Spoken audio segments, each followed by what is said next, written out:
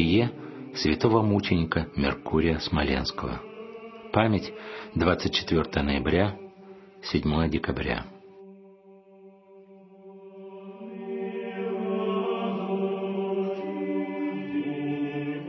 Святой мученик Меркурий Смоленский был славянин, родом, вероятно, из Моравии, потомок княжеского рода.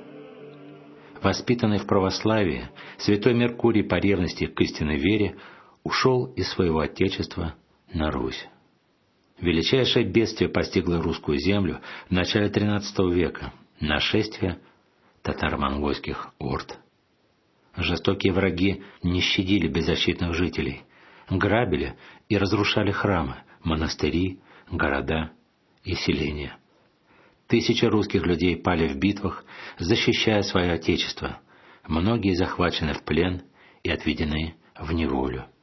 Шел 1239 год. Прибыв в древний русский город Смоленск, Меркурий поступил на воинскую службу в княжескую дружину.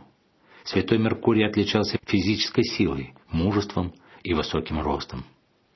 Велик был он и духом, вел в тайне жизнь подвижника, был строгий постник, проводил ночь в молитве и хранил девственную чистоту.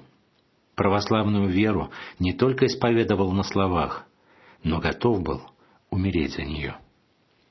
В 1239 году полчища татар, разоряя все на пути и нагло ругаясь над святынями христианства, полонившие уже много русских городов, подошли к Смоленску. Встав в 25 верстах от него на Долгомосте, татары стали угрожать разоренному городу и его святыням. Предводитель татарского отряда, богатырь огромного роста, похваляя своей гигантской силой, вызывает на поединок лучшего смоленского витязя, чтобы в единоборстве решить участь города и Смоленского княжества.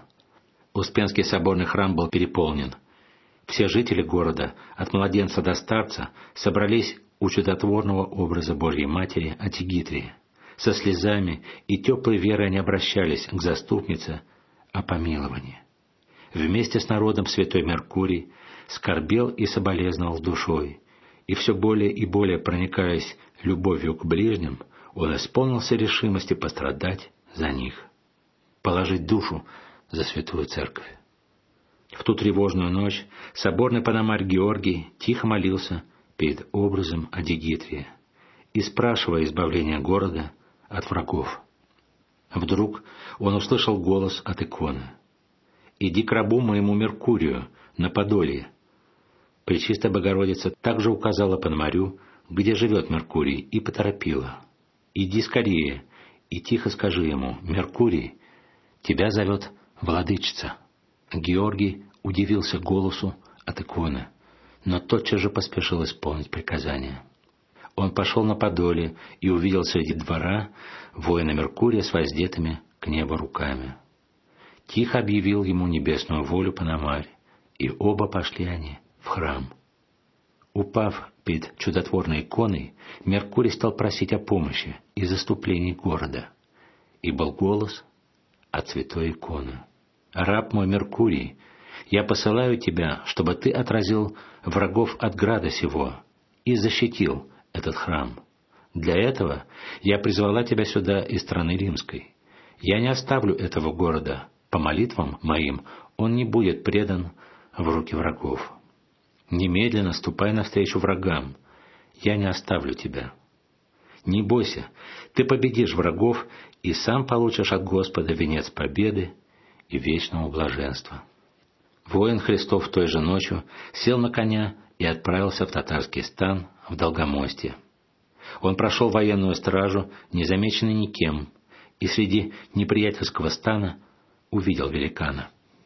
Оградясь крестным знаменем и воскликнув «Пресвятая Богородица, помоги мне!», Меркурий убил гордого и надменного исполина, уповавшего на свою страшную силу. Призывая имя Господа и Пречистой Богородицы, святой воин истребил множество врагов. Татарские воины с ужасом видели, как святому Меркурию помогают в битве молниеносные мужи и лучезарная жена. И не в силах устоять против воина Христова, обратились в бегство. В это время сын убитого татарского исполина, желая отомстить русскому воину за смерть отца, сзади напал на святого Меркурия и нанес ему смертельный удар. Но внезапно непонятный ужас охватил врагов, и, бросая оружие, они бежали от города, гонимые неведомой силой, из пределов Смоленской земли. На рассвете жители Смоленска, готовившиеся к сражению с неприятелем, увидели, что поле усеяно трупами врагов, и поняли, что сохранены заступлением Богородицы. С благоговением они перенесли честное тело святого воина-мученика и с честью погребли в соборе в честь Успения Пресвятой Богородицы.